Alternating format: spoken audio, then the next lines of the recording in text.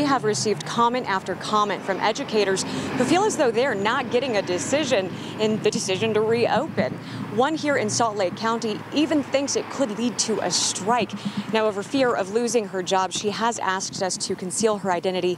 So, for the sake of this story, we're going to call her Tracy. For Tracy, it is my life's passion. The classroom is more than a career. It is everything. She's been a high school teacher here in Salt Lake for five years. To watch them walk across the stage at graduation, I don't even have words to describe it. When the pandemic hit, she knew there'd be changes. I really fully realized it's not safe. After months of closures, she's seeing just what that means as school districts have started to release plans to reopen. Itemized lists full of masks, social distancing, sanitation, and smaller classroom sizes. She says it's a nice thought. It's completely impossible. But educators aren't being heard. We're asking teachers to do twice the amount of work and to put their lives on the line every single day without additional health benefits and without hazard pay. Part of her concerns stemming from Monday's Salt Lake School District Board meeting.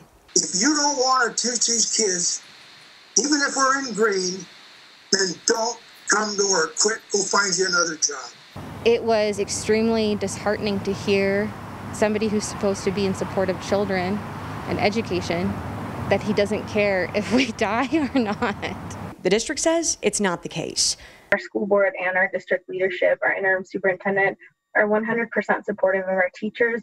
And the thoughts of one board member don't speak for the rest. Would they ever be given the ultimatum where it was show up when you feel unsafe or lose your job? That's not something that we would say.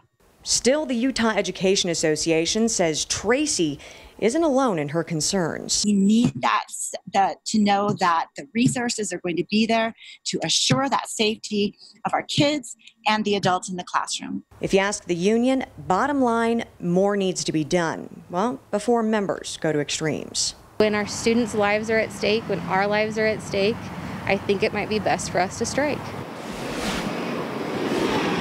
The school district did conduct a teacher survey back in May to see how they were feeling about everything so they'd have a voice.